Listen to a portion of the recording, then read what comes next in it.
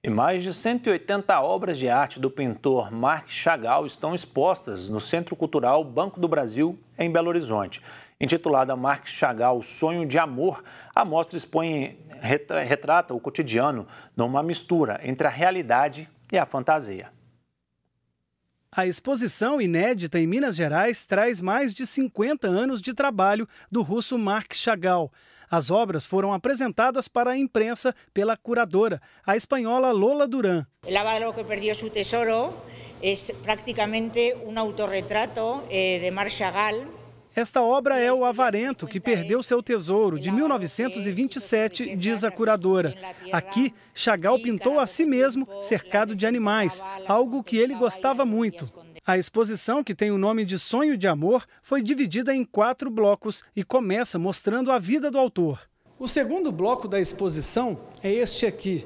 O espaço ganhou o título de Mundo Sagrado, justamente por mostrar o universo de espiritualidade do artista. Aqui, esse ambiente também ganhou dois nomes diferentes. Um, a Bíblia, e o outro, a história do Êxodo, onde há pinturas relacionadas aos textos sagrados.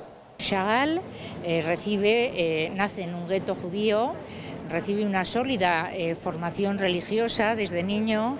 Segundo Lola, Chagall era muito religioso e via em Cristo um grande exemplo de vida voltado ao amor ao próximo. A exposição, que já passou pelo Rio e por Brasília, fica em Belo Horizonte até janeiro no Centro Cultural Banco do Brasil, na Praça da Liberdade.